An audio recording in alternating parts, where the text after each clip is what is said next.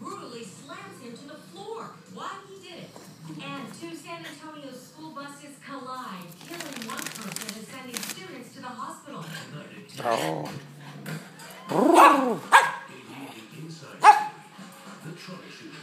Hey, don't do that.